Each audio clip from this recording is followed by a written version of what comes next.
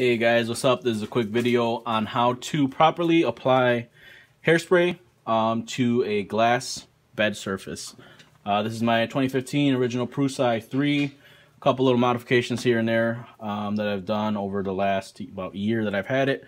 Um, but over that time, I figured out that glass and hairspray is by far the best way for this printer design to get prints like ABS and PLA and other materials to stick. Um, so the first thing you want to do is clean off your build plate.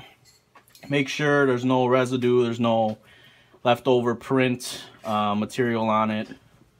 Um, don't try to, you know, grab it all over the place, your greasy fingers or anything. Just try to wipe it down as much as you can so you don't get a lot of your oils from the skin on there.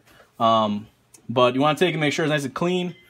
and you got to take the hairspray. A lot of people use the Aquanet is what I hear, but for me, I just picked this up at the store. I couldn't find the Aquanet. Um, it's Tresemme, the number five hairspray. So I guess the strongest you can get.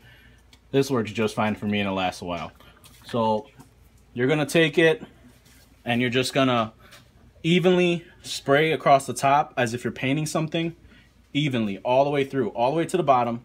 And then you go again up real slow. Don't be afraid that you're putting too much. Um, the way you're to know if you're putting too much is basically you're going to start to spray it and you're going to start seeing little bubbles. Real small little bubbles all over the place and they won't go away. Um, at first it's going to get hazy. So that's kind of why I keep it up on an angle like this and just hold it with my fingertips um, so I can kind of see through it.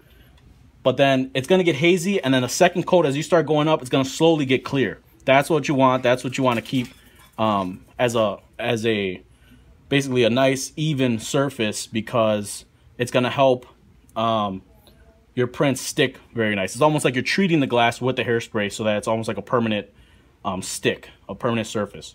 So you're going to start off like, like this. And you can see how it's kind of hazy, almost like frosted glass. And you're going to go back. And you're going to go back again until it's clear just like that. Now it's pretty clear, it's just got very small amount of haze to it, but it's even everywhere. There's no large bubbles anywhere, there's no clouding. This is exactly what you want. Now, I already had the Prusa heating up to 60 degrees on the bed. Um, I probably shouldn't sprayed this so close to the machine, but for the purpose of video, it's gonna be fine. Um, so you're gonna wanna put it on there. and the purpose of this is so that basically it can bake. It'll bake right to the glass, and then it's going to get even more clear. You're not even going to be able to tell that there's hairspray on there once it's done. So you leave it there for about five to 10 minutes. It doesn't even take that long, probably two to five minutes. Um, and it'll be completely clear and ready to go after that.